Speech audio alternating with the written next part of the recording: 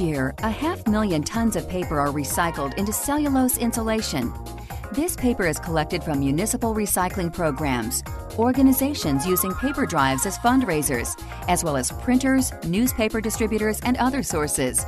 What some people might consider trash is put to good use, insulating buildings to save on winter heating and summer cooling bills. Our goal at the Cellulose Insulation Manufacturers Association is to save energy in homes and businesses by diverting paper from waste disposal and reducing the amount of trash going to landfills. Speaking of landfills, paper products are the single biggest component of the municipal solid waste, making up over 38% of the material deposited in landfills in the United States.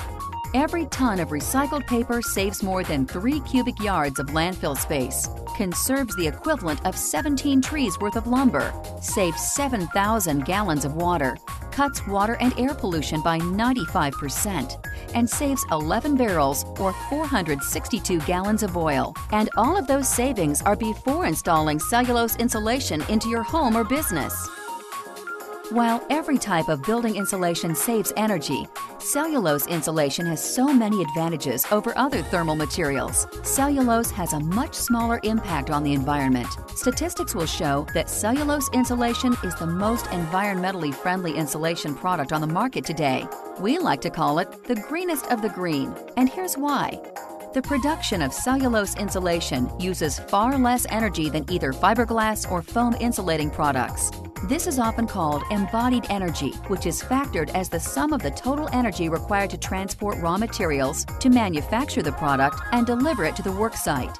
Canadian Building Magazine estimates that fiberglass uses at least 10 times more embodied energy than cellulose, and foam insulation uses 64 times as much energy as recycled paper. Unlike cellulose insulation, foam insulation products are made from petroleum, which is a non renewable resource.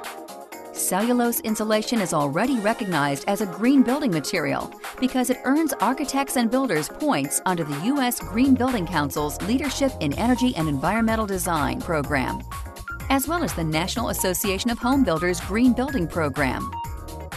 The high R value and density of the cellulose insulation provides excellent thermal barriers, soundproofing, as well as fire retardation. Particularly in climates with either hot summers or cold winters, cellulose insulation performs better than fiberglass when the differences between indoor and outdoor temperatures increases. Protect your home and business from high energy bills and do your part to help reduce greenhouse gas emissions. Cellulose insulation, the performance choice, the environmental choice, the right choice.